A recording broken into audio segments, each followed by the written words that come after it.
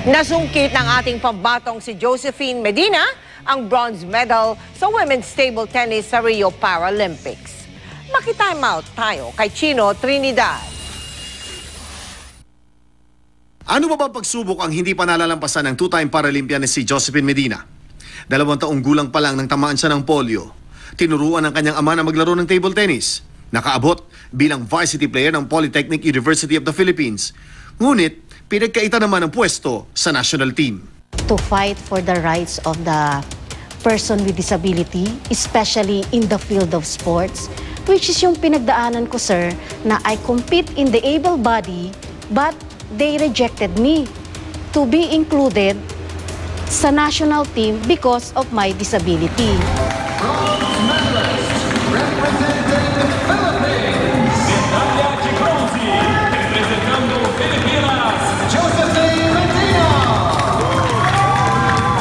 Karangalan ang dala niya sa bansa sa pagkamit niya ng bronze medal sa table tennis women's singles Class 8 sa Rio Paralympics.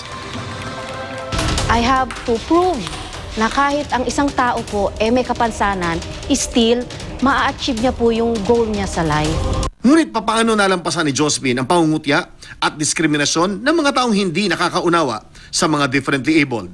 Number one po, siyempre, faith sa Panginoon.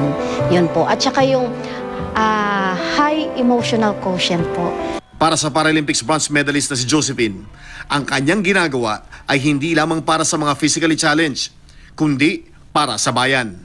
Kaya ng Pilipinas makapag-compete even we belong to a third world country, we can still compete in the higher level of competition. Chino Trinidad Agututo, 24 oras.